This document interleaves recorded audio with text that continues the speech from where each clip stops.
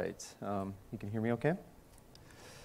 So, um, just a little bit about me. Uh, my name's Kent English, um, and uh, this deck is online. Actually, I'm going to zoom in a little bit here. Um, this deck's online. There's also um, a series of blog posts on my site that uh, go over the same material in, in more detail um, at zeroviscosity.com, or if you don't want to type, zevi.co takes you to the same place. So we're going to be talking about D3, and for those who don't know D3, it stands for Data-Driven Documents, and it's a really flexible and powerful library for manipulating SVG, HTML, and CSS.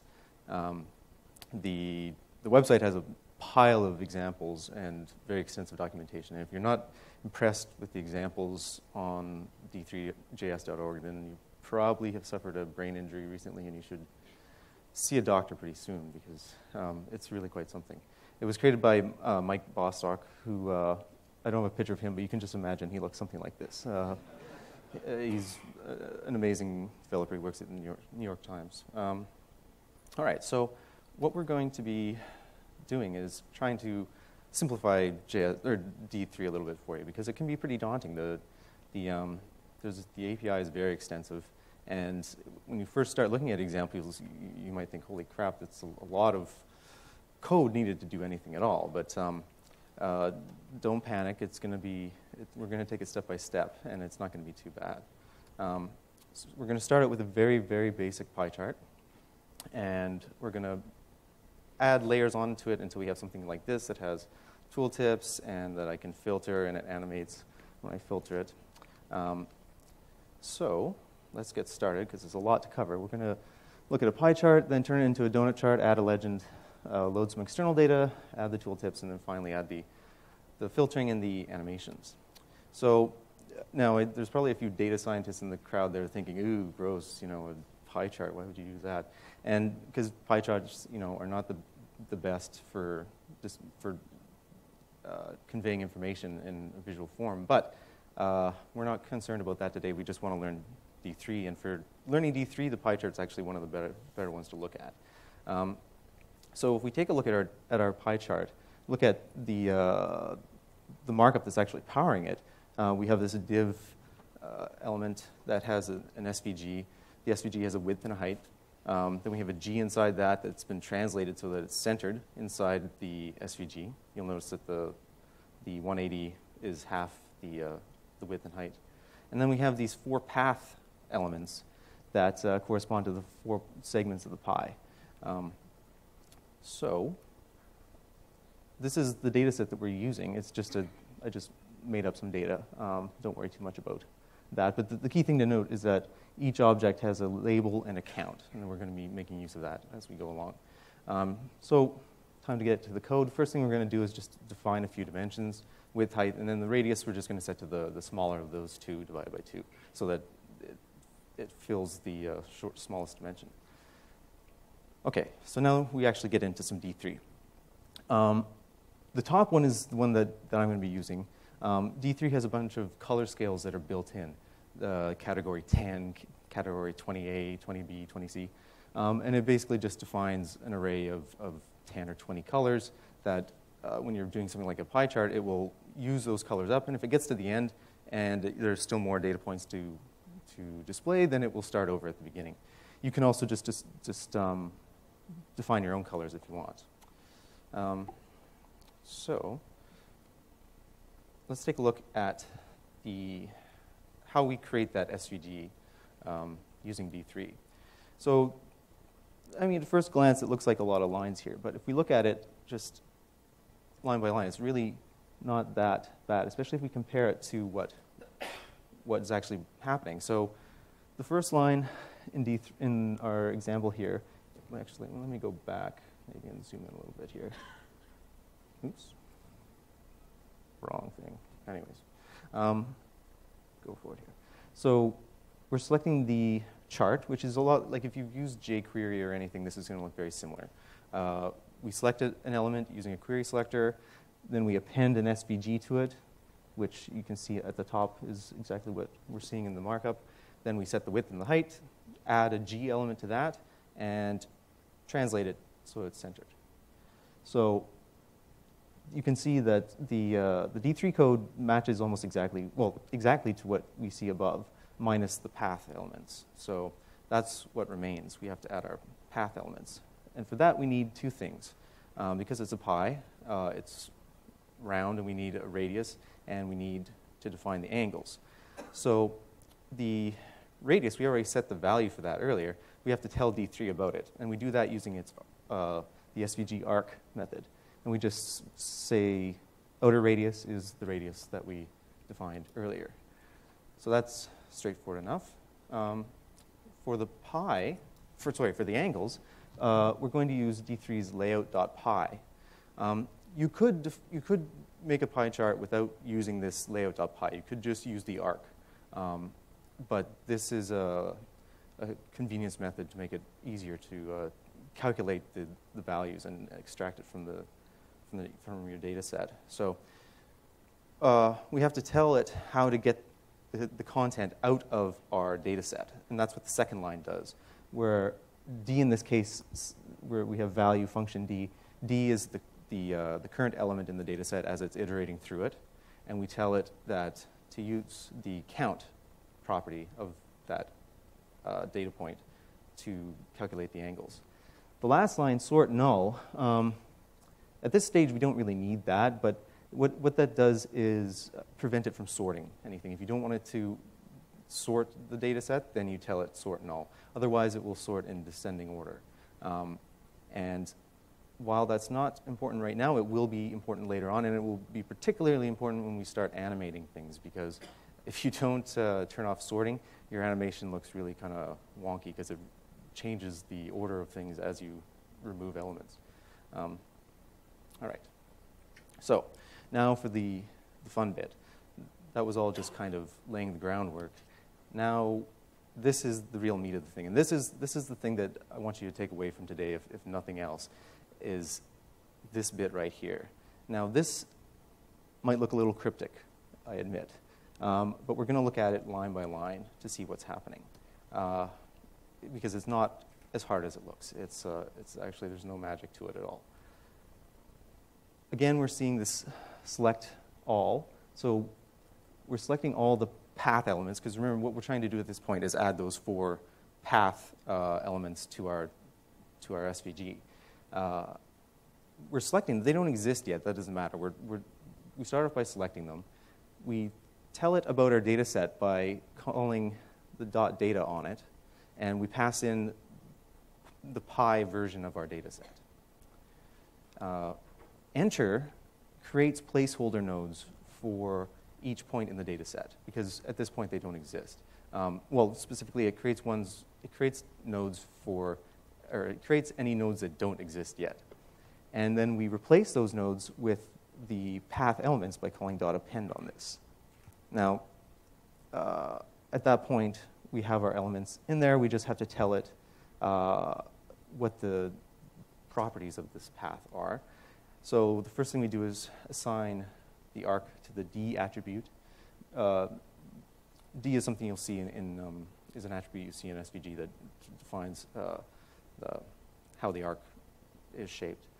And finally, uh, the fill is uh, the background color, essentially. That's what fill is. It's, if you were thinking of it in CSS terms, fill means background color. And in this case, we uh, are passing in our labels into the color function. And so when D3 iterates over this, uh, over our data set, um, gives first the data point and then an index uh, to the point in the array that we're at. And so we can access both of those within this, uh, this callback. Now, this pattern, select all, data, enter, append, I know it seems a little bit cryptic, but it comes up again and again in D3 examples. If, and we're actually going to see it again a second time in this, in this talk.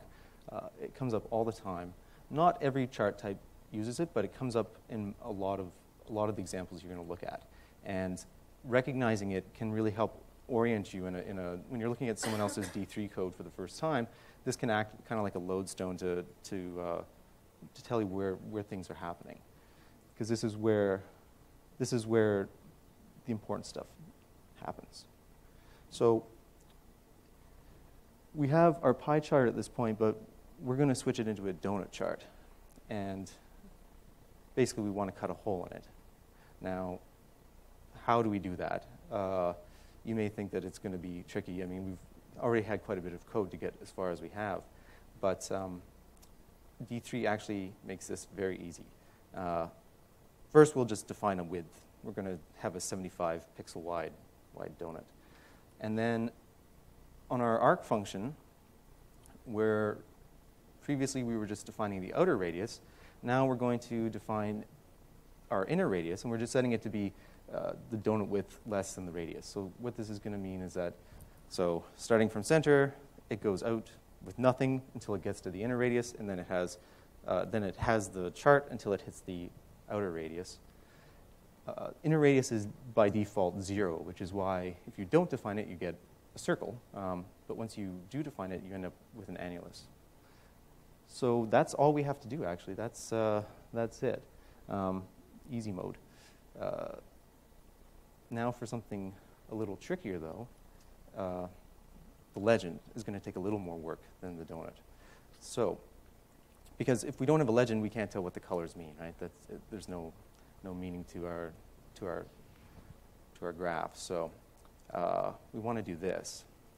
And if we look at the DOM for, so each, each uh, entry in the legend has a rectangle and a text. So if we look at what that looks like, we see, again, we have more G elements.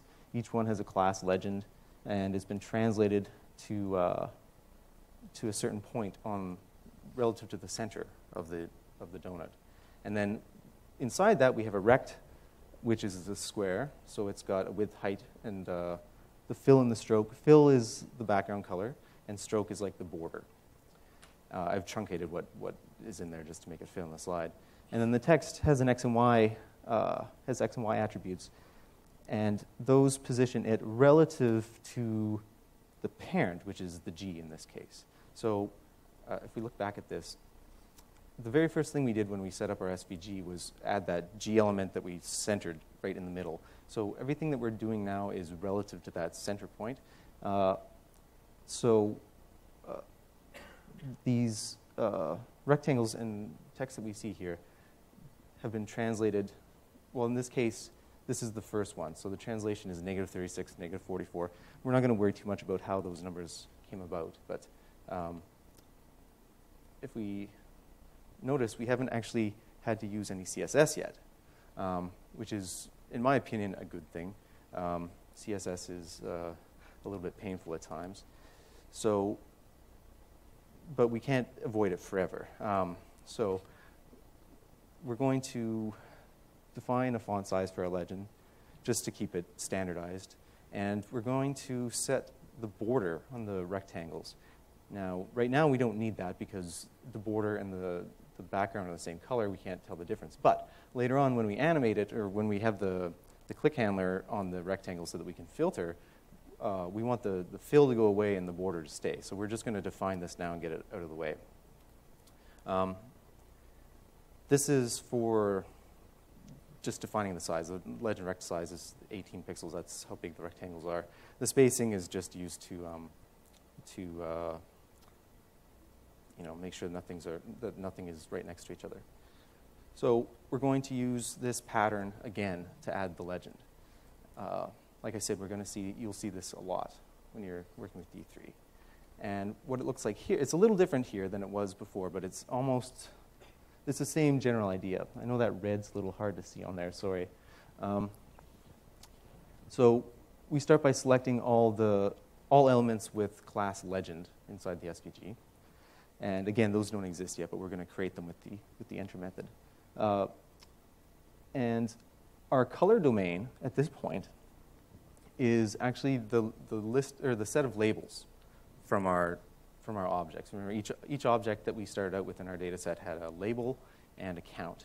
And when we defined our, uh, when we first defined the pie chart, we uh, passed the labels into the color um, function that we created earlier.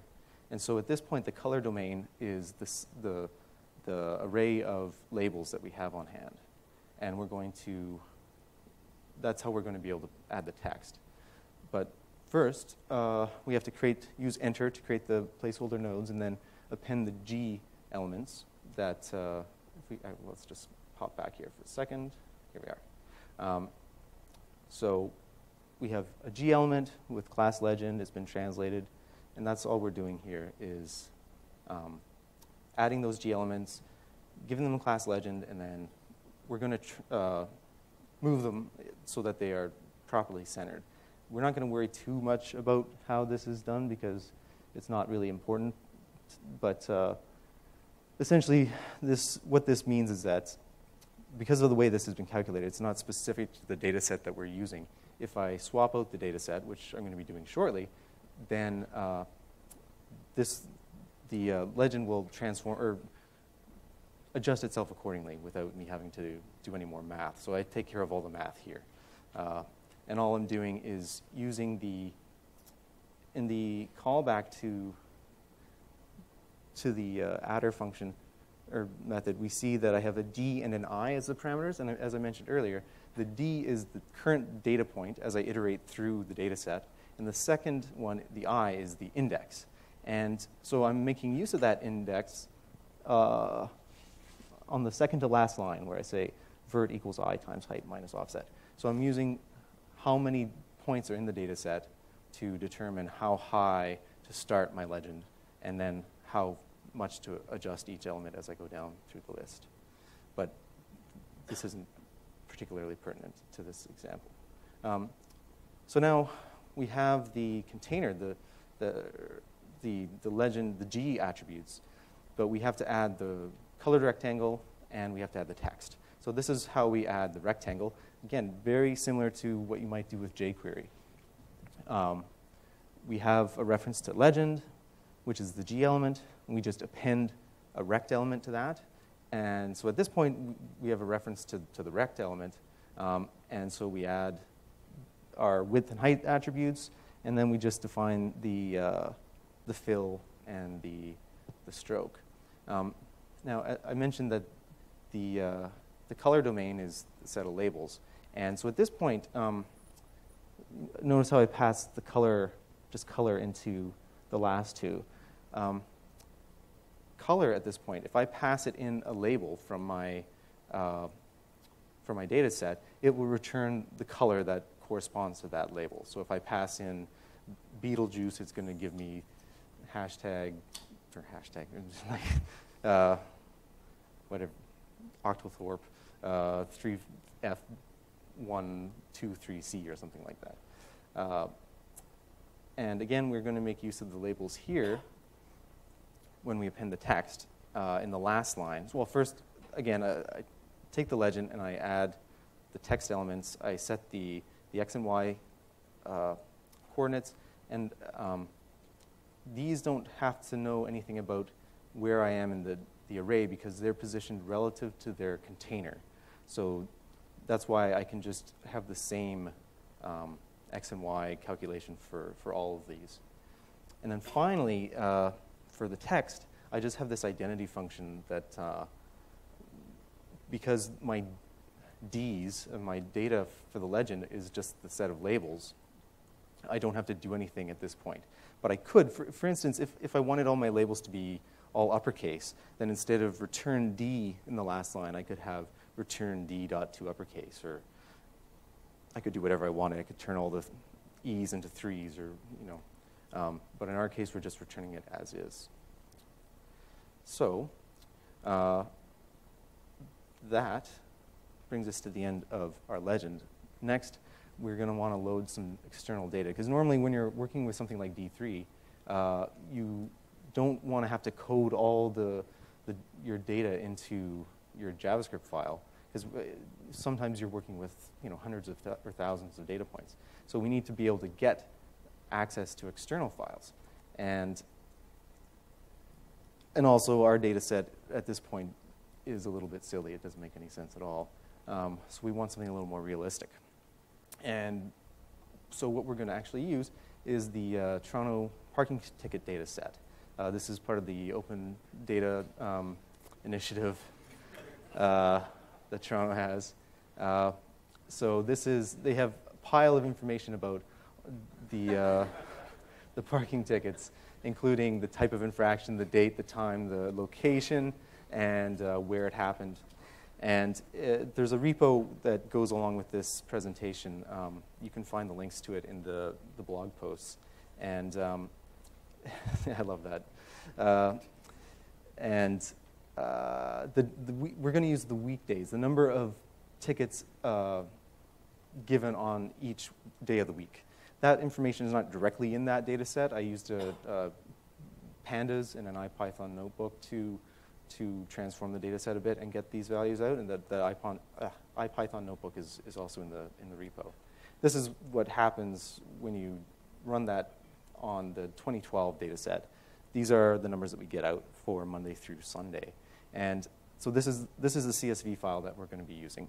And you'll notice that the first row is the, the, the, column names, the label and the count, which luckily enough correspond exactly with our dummy data. So we're, we're going to be able to swap these out without changing any of the code that we've already written. Everything that refers to counts and labels will just continue to work. And in fact, we could swap in any uh, data set that had label and count um, uh, fields, and it would work fine. The only issue would be if you had too many data points, it would extend outside the, the range of our donut hole. So uh, to, do, to read this in, we're, well, sorry, first, this is what it's going to look like. So whereas before we just had the four data points, now we have the seven, and you'll notice that the legend has adjusted itself accordingly, so it fits nicely in the middle.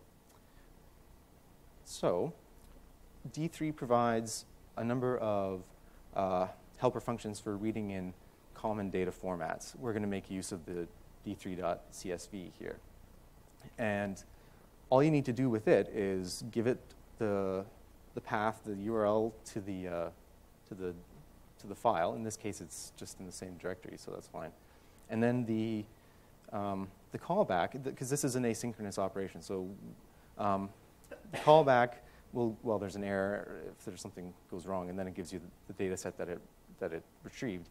And because it's async, we have to put all the code that depends on the data set inside the callback. So some of our some of the stuff we define, like when we define the arc and we define the color and we define the sorry? Oh, sorry, I'm hearing things apparently. Um, and we define the pie, those didn't make any reference to the data.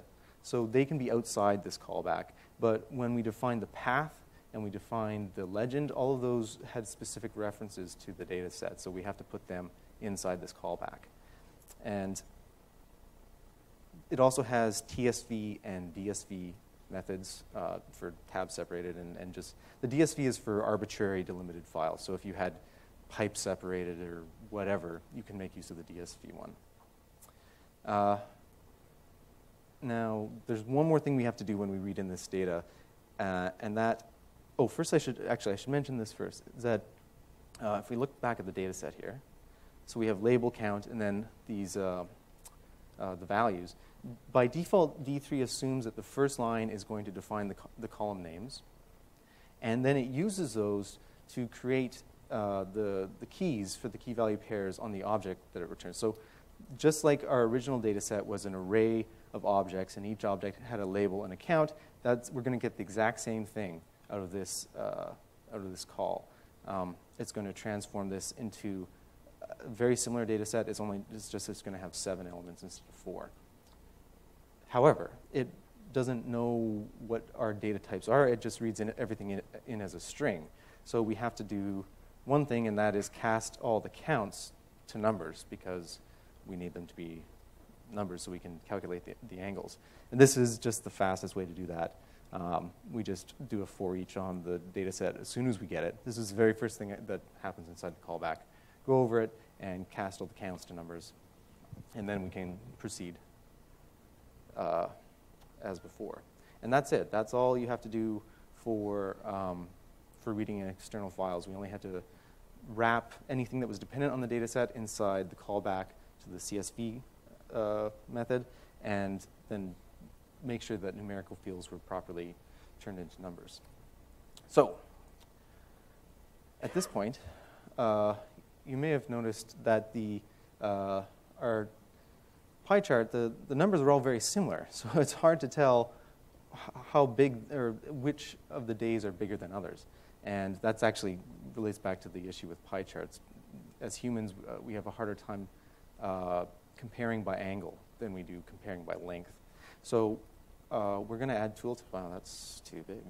There we go. Um, can you see that all right? Like when I hover over these, these sections, there's a tooltip that appears in the center that tells me the weekday, the total count, and it gives me a percentage of the total. So we can see that Monday is 13.8 and Sunday is only 10.3 of the total, whereas I think Thursday was one, Wednesday, Thursday. Pardon me, Wednesday's pretty big with 15.7. All right. So again, we're going to need a little bit of CSS. Uh, the, our SVG is inside a div with the ID chart. So we're, we're just going to position this tooltip um, relative, to the, relative to the chart itself. So we're going to put uh, position relative on that, and we're just going to set it to be the same width and height as the SVG itself. Then this is the CSS that I've put together for the tooltip. Um, it's nothing too important here, but uh, the one thing that's worth noting is the, um, because I'm sticking it right in the center of the donut, um, the top and the left values are specific to this, um, this donut, uh, given the, the, sizes that we've decided on. If you were doing this in some sort of more scalable way, uh, if, like a responsive way or something, you might have other ways of doing that. Um, but we don't need to worry about this too much. Uh, this is more important. We're going to create the tooltip, and it, uh, we're just using divs for this. and we're going to have a single div uh, with the class tooltip. And inside it, we're going to have three more divs, one with the class label, one with the class count, and one with the class percent. And so this is, again, very similar to what you would see with something like jQuery. Uh, we're just appending these divs, well, for, appending the first one to the chart, and then appending the later ones to the, to the one we appended to the chart. And this code doesn't depend on the data set. So we can have it outside of our callback. We can define it earlier on if we want. But for it to actually do anything, we have to listen for mouse events. And if you want to add any kind of interactivity into your um, D3 chart, then you're going to have to use mouse events in some form or another. So uh, we're going to be attaching them to the, the path elements, which are the, the segments of the pie uh, we're going to have a mouse over and a mouse out. So for mouse over, uh, we're going to, well, we're calculating the percentage here to start with. This, I mean, you, are probably thinking to yourself that the calculation of the total doesn't need to be done on every mouse over. You could be doing this when you get the data set for the first time, for example. That would be a lot more efficient. However, um, later on, we're going to be changing the values, and we want the percentages to be the percentage of the remaining elements that are being displayed as opposed to all of them. So this, will, this makes it more dynamic in that sense. So uh, D3 has some nice helper methods to deal with arrays, such as the sum. So I'm using d3.sum here, uh, and I'm passing into that just the, I'm just creating an array of the counts and passing that into d3.sum to get the total. Uh, then I calculate percent, and then I just find the label count and percent uh, divs inside my current tooltip, or sorry, inside my tooltip, and uh, putting in the data that corresponds to those. And finally, I make it so you can actually see it, set display to block. But if we just had this one, the tooltip would show up and never go away. So we want a mouse out. All it has to do is, is make the, the tooltip disappear, display none. Now, in this case, the tooltip isn't moving. So if you wanted the tooltip to follow the mouse around, um, then you could optionally add a mouse move uh, listener. And for that, you can tap into D3's uh, event object. And so what I'm doing here is when the mouse, when mouse move fires, I'm moving the tooltip to be uh, 10 pixels to the right and 10 pixels below the current position of the cursor.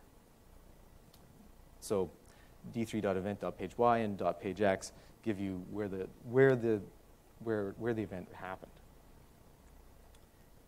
And if you do that, then the mouse, or the, sorry, the tooltip will follow the mouse around until you leave the, one of the pie segments, and then it will just stop dead and disappear. Um, like this poor little dog. All right, so that is our tooltips. Now we get to the, the big one. Um, we want to be able to filter our data set, and when we filter it, we want the change to be animated. And so we saw this earlier, but I'll just show you again. So if I wanted to just look at weekdays, I can remove these two days and it adjusts. And you'll notice that the earlier Wednesday was 15.7, uh, now it's 20.6. And if I removed everything but Monday, it should say 100 if I did the math right. Okay, good, 100%. Um, you'll notice I can't get rid of Monday. No matter how many times I click on that, it's not going to let me get rid of it because uh, what's a chart with no, no data points? So um, you'll, uh, we'll see how, how that's done. Um, all right. So the thing is, animation is hard, and it's, it, if, I mean, I'm sure many of you have tried to do um, animations with JavaScript before, and the nice thing is that D3 makes this quite easy for us. Uh, there's more patterns, just like we had that select all um, data enter append pattern, there are patterns that come up when you're dealing with animation. First, though, we, we need a little more CSS because we want the, the box, when we click on it, we want it to go white inside and just the border to remain. And we also want it to have a, you know, the pointer cursor on it so people know to click on it. That's all this is doing. Uh, now, there's a few things we've got to add to our existing code to, uh, to enable all this. So the first thing we're going to do is when we first get our data set and we are iterating through it to cast those things to numbers, we're going to add a property called enabled. And uh, this is going to let us know whether or not the, that particular data point is, should be shown in the, uh, in the chart or not. Next, uh, this is specifically for the animation. If you're looking at examples of um, D3 examples where animation is, is, is, concerned, you'll often see this underscore current kicking around, and it's, uh, it's used to enable the smooth transition. We'll see the, how this is actually used in a minute, but what I'm doing is appending it to our path, which is the path, just as a reminder, refers to the, the segments.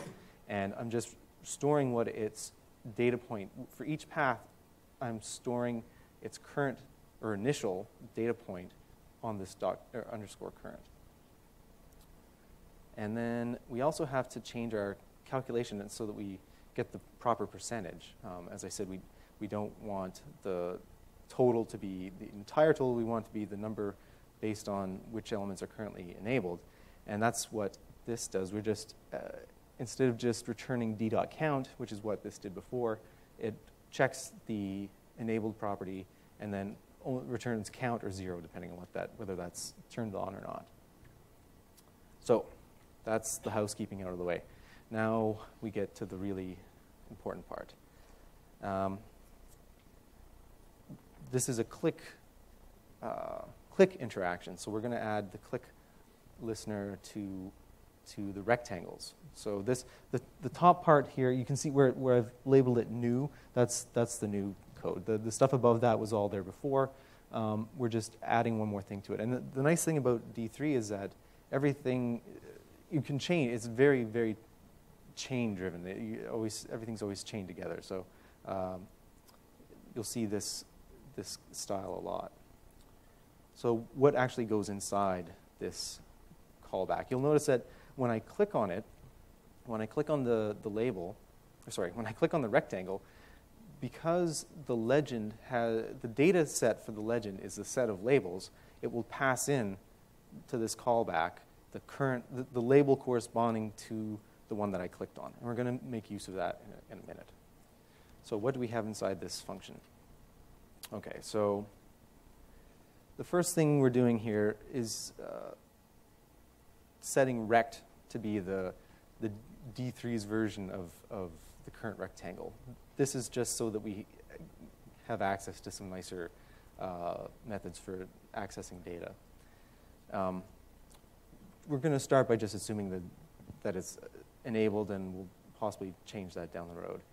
Then uh, this next line, the total enabled, this is, do you remember how when I was clicking on the days of the week and I was down to Monday and I kept clicking on Monday and it wouldn't go away, that was because I had figured out how many were already disabled and I'm going to prevent people from disabling them all. So I'm just counting up uh, how many are currently enabled.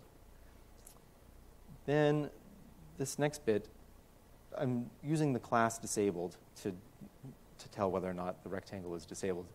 In the CS, if we pop back to the CSS for a second, uh, the second one, that's when I'm getting rid of the background color is when it has a class disabled on it. So uh, if it's currently disabled and I click on it, then uh, it, we can enable it. That's fine. Uh, but if, I, if it's currently enabled and I click on it, the first thing we're going to do is check that total enabled number that I ca uh, calculated before just to make sure that they're not trying to break something. They're not trying to get rid of all the data points. If they are, then we just exit out of here and, and they can click to their heart's content. But assuming there's still some, assuming that we can disable it, we disable it and set enable to false. Um, this is where the real, the real magic happens. So because we're, when you enable or disable a data point, the pie chart has to update. The angles have to change. Um, the radius is, isn't moving. It's, it's the same as it was before, but the angles are all going to have to adjust. And so we have to change the way that, that our pie function um, accesses the data. And so originally when we had this pie dot value, we just returned d dot count. But now we're only going to return d dot count if it's enabled. Otherwise, we're going to return zero. Um, we're also taking this opportunity in the first, the, the first if there um, to, to set that. And this is where that label that got passed in, if we look back here, uh, the on-click function label, that label is the, the label of the legend item that was just clicked. So I can use that to set the enabled property of the data point. And once I've updated the pie, then I can update the, the segments by uh, passing the new pie into the path.data. And then we get to the transition. So for the transition, um, I've set a, a duration of um, 750 milliseconds on it. And the the next bit is the important one, the attrTween.